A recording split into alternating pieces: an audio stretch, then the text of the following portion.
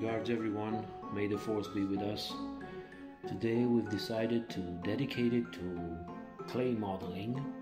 Therefore, here is something that we've created as a lantern and in the end of this video you will realize the shape of it at this moment you just see a glass some clay of course we've used some wood and uh, see that we've painted with uh, oil uh, colors based on oil. And I think it came out pretty well. And it's a unique uh, format.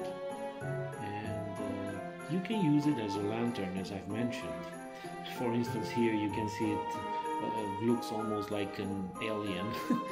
Uh, but just wait and see the results because uh, I guess especially through the painting process uh, it became something unique. Look here. I mean come on. You cannot say it's not uh, a real wooden door and uh, soon you will realize that it's totally a, a unique acorn and uh, I think soon Chip and Dale from Lego uh, will be very happy to live here.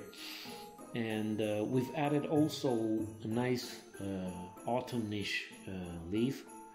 So we've painted with some colors to give that uh, quite wood, wooden patina. And of course uh, we've started to add some uh, vegetation and all kind of uh, colors typically for the autumnish uh, period of time. And uh, here we are.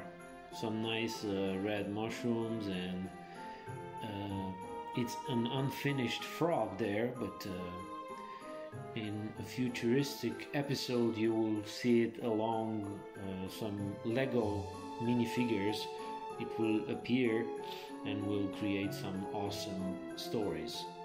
Of course uh, because we are very close to halloween our buddy uh, squash is here and he welcomes everyone who wants to step inside of this magical land.